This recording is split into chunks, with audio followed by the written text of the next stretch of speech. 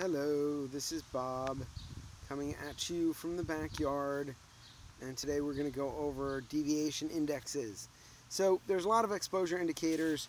Every manufacturer has an indicator to tell you how much uh, exposure got onto your image receptor and you should have watched the exposure indicator uh, video before this one. So if you haven't, pause this, turn it off and go get that.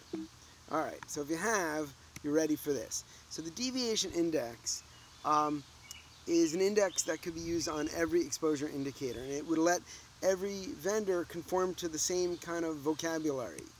So we could take all these different exposure indicators, S numbers, log medians, blah, blah, blah, and we could represent them all the same way.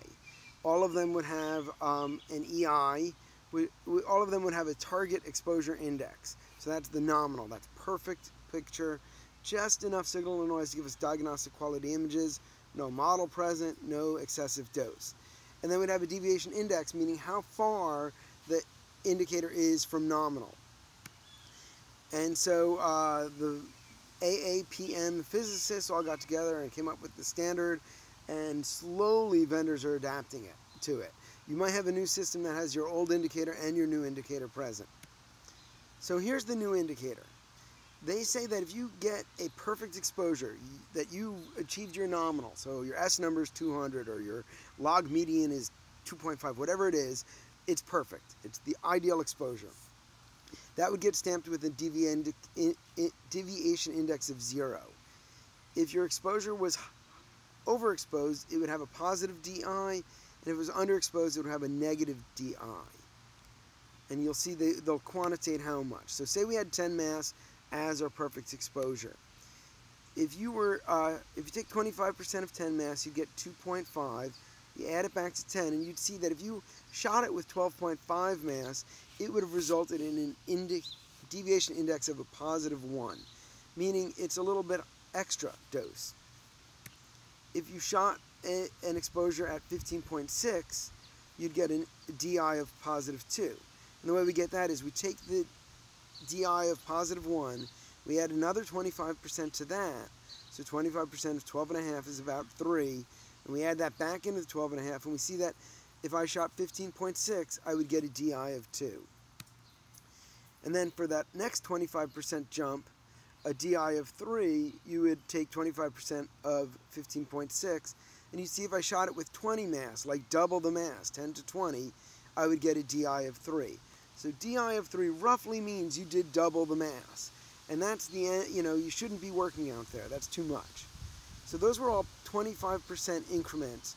The first one was off of nominal, and then they were each 25% off of the other indicator. DI2 was 25% above DI1. When we go down in DIs, we're going to go down by minus 20%, not 25. So again, the perfect exposure is 10. If you shot it at 8, you were 20% low of 10, you would get a DI of negative 1. If we take another 20% off of 8, we'd see 1, 6. So an exposure of 6, 4 would result in a DI of negative 2.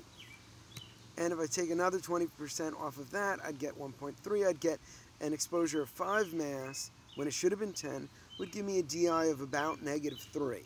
So I'd be doing half the mass I should. So we've again got a roughly half mass at negative 3, roughly double mass at positive 3. And you could round these numbers up to 12 and a half, 16, and 20. Uh, but they're going to move depending on where your starting point is, what your nominal is. So Quinn Carroll came up with these ranges. He said negative half to positive half. That's your target range. If you can work in there, then you're a pro. If you go above a DI of positive 1, then if burn is evident, you probably want to repeat it. Again, uh, the Dennis Bowman video showed us that burn is way out at 8, 10, 20, 40x, not at these little positive one, you know, at double exposures. So you're probably not going to repeat with a high DI, uh, but you did excessive dose. And then if you got under 1 for your negative 1, under negative 1, I should have fixed that, uh, and under that's an underexposure, and you're probably going to see mottle, and you're going to need to repeat because you're not going to have a diagnostic quality image. All right, so we can do some math with this. So here's an example problem. You take an exposure of a knee at 70 kVp and 4 mass, and it gives you a, a DI value of point plus 2. Uh, if you were to repeat it, what would you use? Plus 2 tells me I'm over because it's greater than 0. And one and if I have a calculator with a x to the n button, I could just take 4 mass and divide it by 1.25 squared, squared because that's my DI value, 25 because I'm high, I'm high by the, I'm on the positive 25 side here, and squared because I've done it two steps of 25%. That would get me 2.56 mass. And if I go to my little converter, it says if I got a DI of 0 at 256 mass, what would it be at 2? It would have been 4 mass. So I made myself a little spreadsheet converter to check my answers at the end. So 4 mass, uh, 4, 4 mass gave us a positive 2, 2.5 mass would give us a DI of 0. That would be the perfect mass. All right, let's try another one. If you take an exposure at 70 kVp and 1.4 mass, and it's a DI of negative 3, what's going on? Well, it's less than 0, so it's underexposed. Negative 3 means I'm just about half what I should be. So I could throw out the fancy math and just double my mass. So 1.4 could be 2.8, that would get me a DI of 0. If I wanted to do it with the fancy math way, again, I'm going down, I'm going off of nominal, so I'm 20% down, and I did it three times, DI of negative 3. So my DI value goes right in that exponent, but because it's underexposed, I'm raising 0.8 to the exponent. If it was overexposed, as the previous problem showed, I would be raising 1.25 to the DI value. So 1.4 over 0.8 cubed is 2.7 mass. I could go to my little checker. It says a minus 3 at 1.4 would be a 0 at 2.7. I did my math right. 1.4 at minus 3 is, would have would have been better off. I would have needed to double my mass to get to a DI of 0. Let's try another one. If you take a knee at 70 at 1 and a 5 and you result in a DI of 1.5. Oh my gosh, it's not 1, it's not 2. What do I do? Well, I know it's underexposed, and I better use the fancy math. So fancy math says 1.5 over 0.8 because I'm less raised to the DI value, 1.5. That gives me my new mass. Now, Dennis Bowman gave us this fantastic chart, and this can hang up in your room next to your machine where you have DI values. And it's an easier way for you to say what should you have used, what optimal mass should you use for your next value. So we'll use the chart for our next example. You shoot a chest at 100 kVp, 4 mass, you get a negative 2 DI. Well, it's underexposed. You go to your fancy, fancy, fancy chart, you circle negative 2, that's the DI value.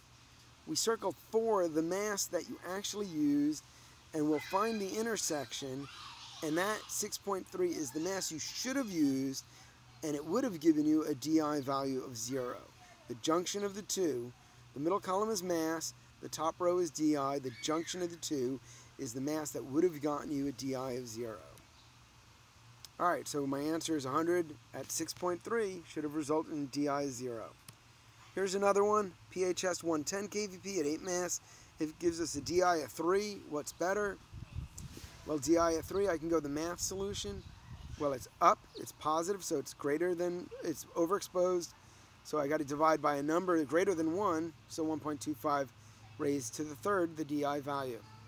That would spit out 4 mass. But who's got that calculator? Um, I'm going to go ahead and use the chart. I have a DI of 3. I shot it with a mass of 8. Boom, the intersection is what I should have shot it at to get a DI of 0, 4. And finally, another way to have done this is, well, positive 3, that means I did double the mass. And I could quickly go to 4 mass because I know a positive 3 is double the mass and a negative 3 is half the mass. Okay, so that's how to use your DI values to move your mass around. Again, anytime that you're doubling or halving your mass, you could be changing your KVP by plus or minus 15% and getting the same impact to your exposure indicator. One day, I'll only have to teach deviation index, and I think a lot of teachers have been saying that now for a lot of years. So this is X-Ray Bob. I'm out. See you in class.